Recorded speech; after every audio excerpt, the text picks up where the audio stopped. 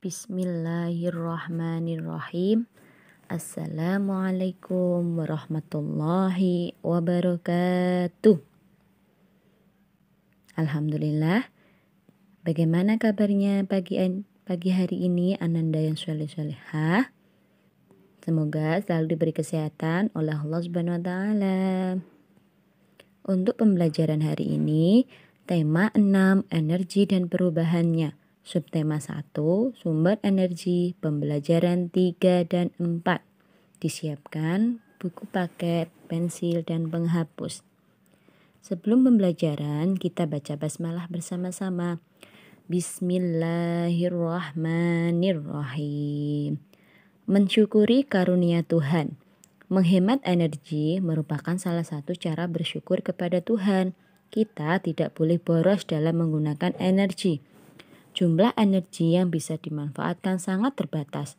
Jika terus digunakan, suatu saat energi akan habis. Kita harus berusaha untuk menjaga kelestarian energi.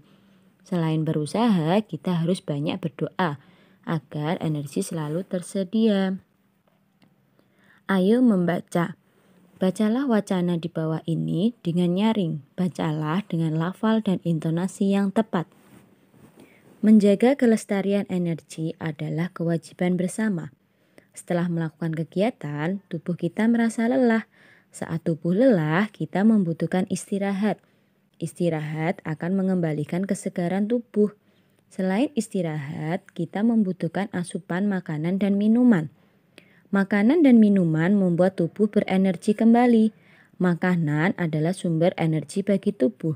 Sebagian besar makanan berasal dari tumbuh-tumbuhan.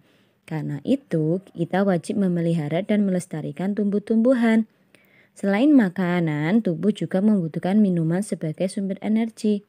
Untuk minum, kita membutuhkan air bersih. Namun, saat ini banyak sumber air yang sudah tercemar, baik sumber air di kota maupun di desa. Pencemaran air disebabkan oleh sampah atau limbah. Sampah dan limbah yang dibuang ke air itulah yang mencemarkan air. Air bukan hanya sebagai sumber energi bagi tubuh. Air juga merupakan sumber energi listrik. Listrik adalah salah satu energi yang sangat dibutuhkan manusia. Bumi yang kita tempati adalah milik semua makhluk yang hidup di bumi. Kita harus menjaga kelestarian energinya. Kita tidak boleh memikirkan kepentingan diri sendiri. Kita harus memikirkan kepentingan bersama. Jika sumber energi habis, maka kehidupan manusia akan terancam. Ada beberapa cara yang dapat dilakukan untuk melestarikan sumber energi. Di antaranya adalah satu, Merawat dan memelihara tanam-tanaman. dua, Melakukan penghijauan. tiga, Tidak membuang sampah dan limbah ke sumber air. empat, Menggunakan air secukupnya saja. Marilah mencoba untuk menerapkannya dalam kegiatan sehari-hari. Ayo berlatih halaman 18. Berdasarkan teks di bacaan di atas, jawablah pertanyaan-pertanyaan berikut. A.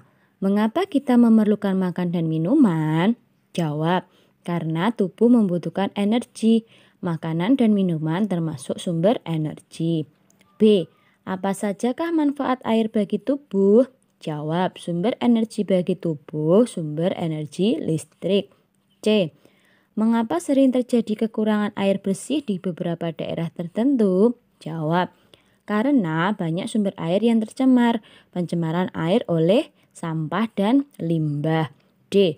Mengapa sumber energi harus dijaga kelestariannya? Jawab, karena semua makhluk hidup membutuhkan energi. E. Apa sajakah yang bisa kalian lakukan untuk menghemat air bersih? Jawab, melakukan penghijauan, tidak membuang sampah ke sumber air, mematikan keran air saat tidak digunakan. Bisa disalin di buku paket halaman 18 ya, Ananda. Ayo mengamati. Anak-anak, tahukah kalian tentang satuan waktu? Tanya Pak Guru. Belum, Pak. Kalau begitu, Pak Guru mau tanya, siapa yang sudah lebih lama hidup? Pak Guru atau kalian? Pak Guru jawab, murid-murid serempak. Dari mana kalian tahu? Karena Pak Guru lebih tua daripada kami, Pak. Udin ingat berapa umur Pak Guru? 37 tahun, Pak. Udin benar, jadi tahun itu juga merupakan penunjuk waktu. Adakah penunjuk waktu lainnya? Siapa yang dapat menjawab? Murid-murid terdiam sambil berpikir. Lalu Pak Guru berkata, kalau begitu, yuk kita pelajari tentang penunjuk waktu atau satuan waktu. Setelah membaca dialog di atas, kita memahami tentang peristiwa yang memerlukan waktu lebih lama dan lebih singkat. Berikut adalah macam-macam satuan waktu. Ada tahun, bulan, minggu, hari, jam, menit, dan detik. Kali ini kita hanya akan mempelajari tentang tahun, bulan, minggu, dan hari. Tentang jam, menit, dan detik akan dipelajari kemudian. Satu tahun sama dengan 12 bulan. Satu bulan terdiri atas 28 sampai 31 hari. Lihat tabel di bawah ini. Hmm, nama bulan Januari jumlah hari 31. Februari 28 atau 29. Bulan Maret 31, bulan April 30, bulan Mei 31, bulan Juni 30, bulan Juli 31, bulan Agustus 31, bulan September 30, bulan Oktober 31, bulan November 30, bulan Desember 31. Khusus bulan Februari setiap 4 tahun sekali, Jumlah harinya ada 29 hari. Banyak hari dan minggu sampai dengan Sabtu adalah 7 hari. 7 hari itu disebut seminggu. Satu bulan terdiri dari 4 minggu atau lebih, tergantung jumlah hari dalam bulannya. Kalau jumlahnya ada 28 hari, berarti sebulan sama dengan 4 minggu. Jika jumlahnya 31 hari, berarti satu bulan sama dengan 4 minggu, 3 hari. Selanjutnya, ayo berlatih halaman 21. Bisa disimak?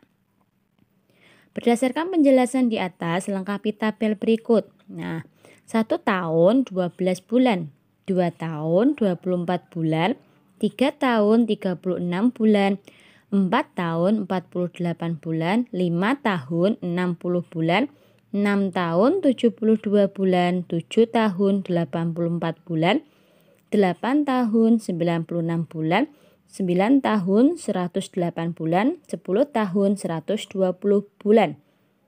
Satu minggu sama dengan 7 hari, 2 minggu 14 hari, 3 minggu 21 hari, 4 minggu 28 hari, 5 minggu 35 hari, 6 minggu 42 hari, 7 minggu 49 hari, 8 minggu, 56 hari, 9 minggu, 63 hari. 10 minggu sama dengan 70 hari. Untuk tabel 1 bisa disalin di buku paketnya. 2. Berdasarkan tabel 1.1 lengkapi tabel berikut. Nah, Januari 4 minggu 3 hari, Februari 4 minggu atau 4 minggu satu hari. Maret 4 minggu 3 hari, April 4 minggu 2 hari, Mei 4 minggu 3 hari, Juni 4 minggu 2 hari, Juli 4 minggu 3 hari, Agustus 4 minggu 3 hari, September 4 minggu 2 hari, Oktober 4 minggu 3 hari, November 4 minggu 2 hari, Desember 4 minggu 3 hari bisa disalin di buku paket halaman 21 ya. Ayo mencoba. Masih ingatkah lagu yang dipelajari pada pembelajaran 1? Ayo, menyanyikan lagi bersama-sama. Coba perhatikan kembali irama lagu tersebut. Kemudian, mainkan musik mengikuti pola irama lagunya. Gunakan alat-alat musik berikut ini. Marakas, tamborin, kastanyet, rebana.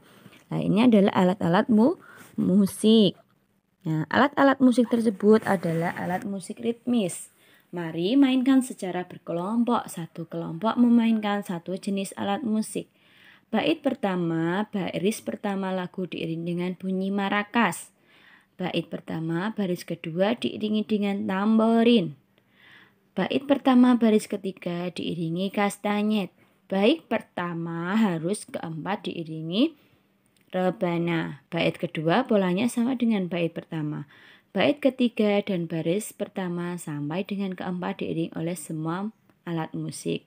Nah, ini bisa dibaca ya untuk penempatan alat musiknya. Ayo mencoba. Pada pembelajaran 2, kita sudah melakukan kombinasi gerak berjalan, menengkuk, dan mengayun menggunakan simpai. Pada pembelajaran ini, kita masih akan melakukan kombinasi gerakan yang sama. Namun, alat yang akan kita gunakan adalah tongkat berpita. Ya, perhatikan urutan gambarnya ya. Kombinasi gerak ini harus dilakukan dalam satu rangkaian. Lakukan dengan iringan musik, pilihlah musik yang sesuai. Perhatikan, ayo membaca. Air dan angin adalah sumber energi. Air bukan hanya sumber energi bagi tubuh, Air juga sumber energi listrik. Cara memanfaatkannya adalah air ditampung pada sebuah bendungan atau waduk.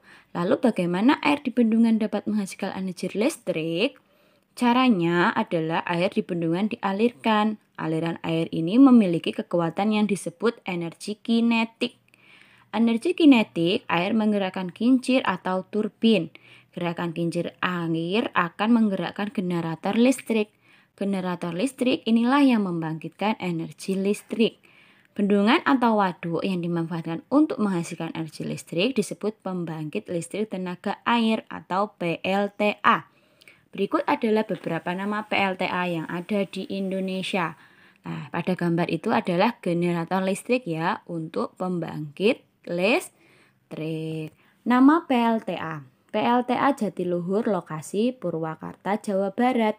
PLTA Maninjau, Agam, Sumatera Barat, PLTA Karangkates, Malang, Jawa Timur, PLTA Sigura-gura, Simorea, Sumatera Utara, PLTA Musi, Kapahiang, Bengkulu, PLTA Gajah Mungkur, Wonogiri, Jawa Tengah. Bisa dilihat di bukunya ya untuk lebih banyak nama PLTA dan lokasinya. Sumber energi lainnya adalah udara. Di dalam udara terdapat oksigen. Oksigen penting bagi kelangsungan hidup manusia. Manusia bernafas menghirup oksigen. Udara bukan hanya sumber energi bagi tubuh. Udara juga dapat dimanfaatkan sebagai energi listrik. Udara yang bergerak disebut banyu atau angin. Bayu, angin memiliki energi kinetik. Energi kinetik inilah yang dapat menggerakkan kincir. Kincir angin dapat menggerakkan generator listrik. Generator listrik akan membangkitkan energi listrik. Pembangkit listrik tenaga bayu PLTB terbesar di Indonesia adalah terdapat di Sidrap, Sulawesi Selatan. Nah, itu adalah contoh gambar kincir angin. Alhamdulillah untuk hari ini tugas ayo berlatih halaman 31 nomor 2 dan 3. Dikerjakan ya.